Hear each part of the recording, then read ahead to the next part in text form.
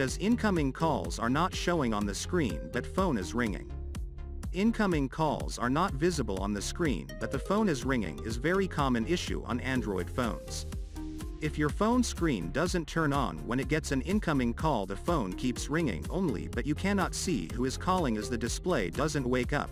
Then in this video I will show you how to fix incoming calls not showing on screen of your Android phone.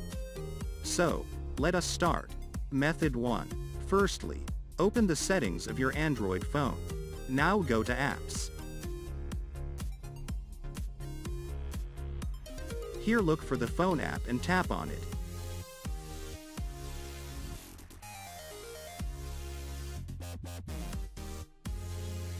After that tap on notifications and see if the show notifications is on. Notifications are by default enabled for all incoming calls on all the smartphones and no one usually changes this setting. However, sometimes an update might change it. That's it.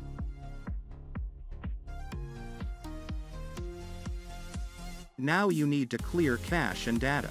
Clearing cache on any app can be a solution to many issues.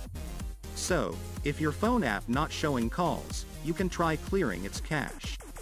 It is to be noted that it doesn't delete your data. However, if this also does not help, you can try clearing your data. Now check the Do Not Disturb mode. It may be the Do Not Disturb mode is causing this trouble. Do Not Disturb mode blocks all the notifications unless you have allowed some apps to override this.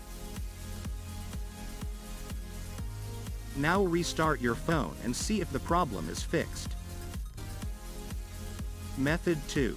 If the restart doesn't fix the problem and you still can't see calls coming on your phone, go to Play Store and search for Google Phone app. Simply install it. You need to make the app the default application for calls. So, this is how to fix incoming calls are not showing on the screen but phone is ringing. I hope this video will help you to solve incoming calls are not visible on the screen but the phone is ringing. Thanks for watching this video. And don't forget to hit the like button below the video and share it with your friends. If you want more videos like this, then tap on the subscribe button and join us.